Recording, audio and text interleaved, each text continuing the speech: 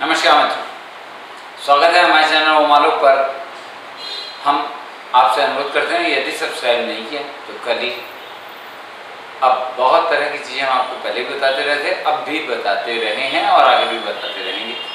दोस्तों, हमने कहा था ना आपसे कि आपकी डिमांड्स पर, आपकी मांग, आपके अनुरोधों पर भी हम काम करते रहते तो अब की बार ये था, मैंने पीछे आपको उपाय बताए थे, मोटापा बढ़ाने के और मोटापा घटाने के।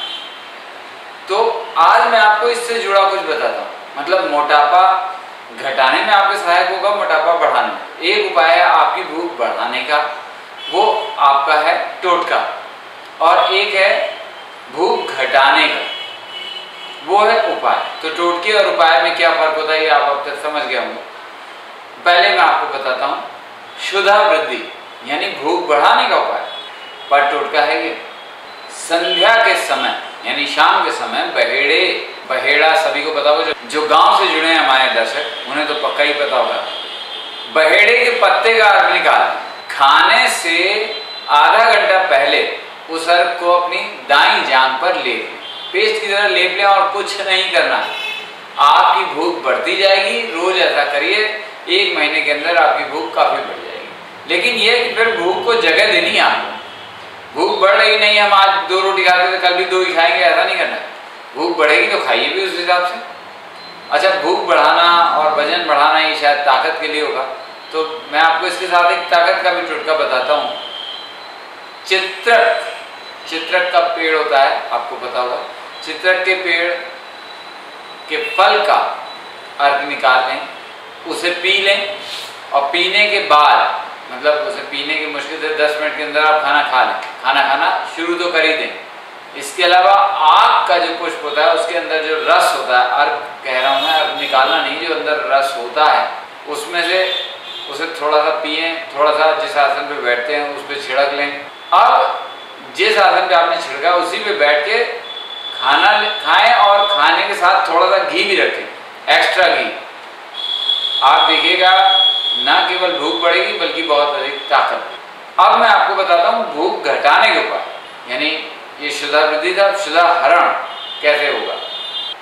मूषा पर्णी, असगंध, मूली, नील कमल का फूल और कसेरू, इन सबको बराबर मात्रा में लेके मिक्स कर लें और फिर मिक्स करके भली भांति पका लें।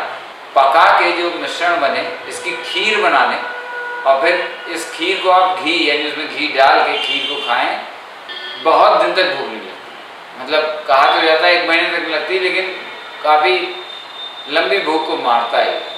एक और उपाय बताता हूँ आपको।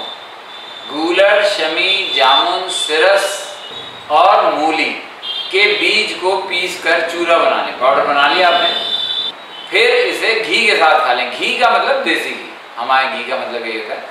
जो जो चीज़ें बताई हैं दोस्तों, वो नीचे आपको लिखी मिलेंगी। फिर भी कोई अगर समस्या है, कोई आपको प्रश्न बिल्कुल पूछिए।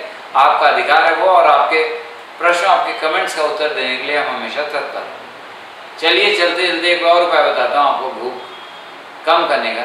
कोकिल वृक्ष के बीज, भैंस के दूध का अर्क। अर्क मतलब दूध।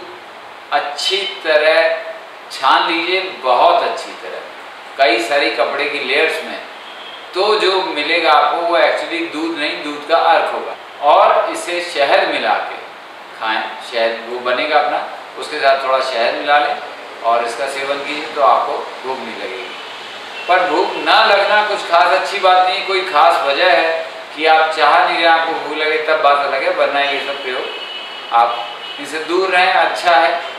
और यदि आपको लगता है आपका मोटापा बढ़ रहा है और आप खाना कम खाएँ तो भी इनका प्रयोग हिसाब किताब से करें। बिल्कुल भूख को मार देना भी अच्छा नहीं होता। शरीर के मेटाबॉलिज्म के लिए थोड़ा खराब हो। और हमारे चैनल ओम आलोक को ज़रूर सब्सक्राइब करते रहें। इसी प्रकार हम कुछ ना कुछ उपाय आपको बताते रहेंगे और किसी न किसी क्लिक पे आपके सामने आते रहेंगे। फिर मिलेंगे मित्रों। नमस्कार।